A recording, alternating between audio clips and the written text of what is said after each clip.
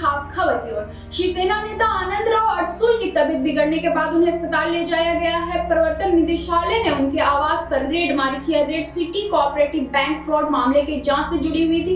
ED की इस कार्रवाई के दौरान ही शिवसेना के पूर्व सांसद आनंद राव अड़सुल की तबीयत बिगड़ गई। आनंद राव अड़सुल को एंबुलेंस के ज़रिए गोरेगांव पश्चिम लाइफलाइन हॉस्पिटल ले जाया गया है।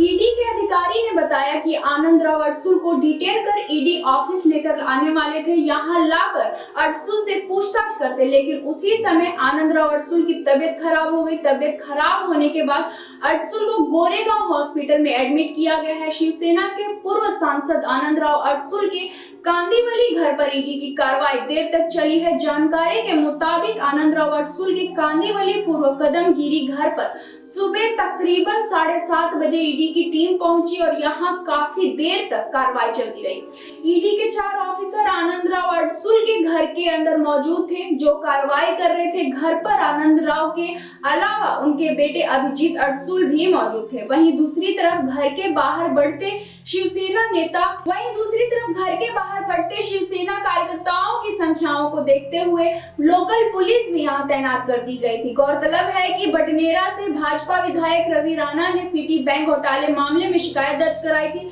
जिसके बाद ईडी ने आनंद राव के खिलाफ कार्रवाई शुरू की। शिवसेना नेता आनंद राव अड़सुल पर सिटी बैंक से 900 करोड़ रुपए के गबन का आरोप है। भाजपा विधायक रवि राणा का कहना है कि यह भ्रष्टाचार तब हुआ जब आनंद राव अड़सुल सिटी बैंक के अध्यक्ष थे। तो ये थी आज की खास खबर। इसी तरह खबरों से जुड़े रहने के लिए बने रहे हमारे एच न्यूज़ के साथ।